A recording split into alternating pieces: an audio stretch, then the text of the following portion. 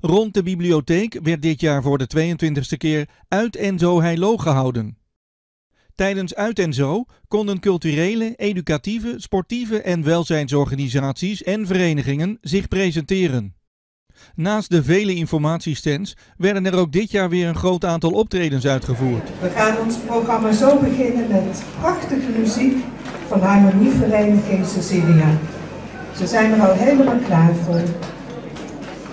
Welkom allemaal. Uit en Zo Heilo 2016 werd 's morgens geopend door wethouder Dellemijn op het podium naast de bibliotheek. Het thema, dames en heren, van de 22e editie van de Uit en Zo is samenwerken. Een mooi gekozen thema. Waarom moeilijk doen als het makkelijk kan, denkt u. Maar dat is niet wat ik hier heb genoteerd. Waarom moeilijk doen als het samen kan? Want dat is wat Moesje zegt. Samen met de inwoners en ondernemers zorgen wij ervoor met elkaar dat Heilo een aantrekkelijke plek is om te wonen en te werken. En dat lukt tot nu toe goed.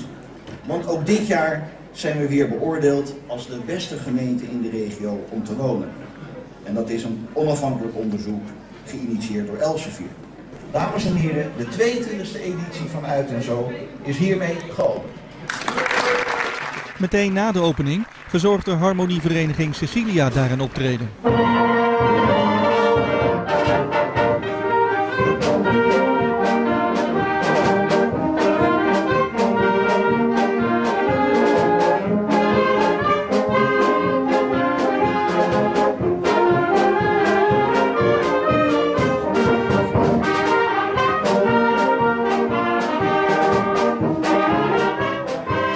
Ook Dojo het Loo verzorgde demonstraties. Goedemorgen allemaal, vaders, moeders, opa's, oma's, andere geïnteresseerden.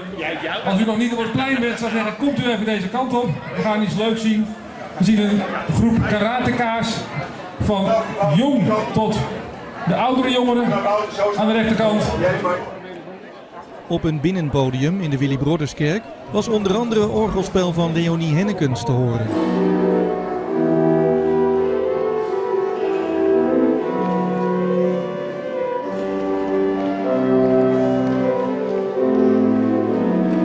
Ook verzorgde het Alkmaar Symfonieorkest daar een optreden.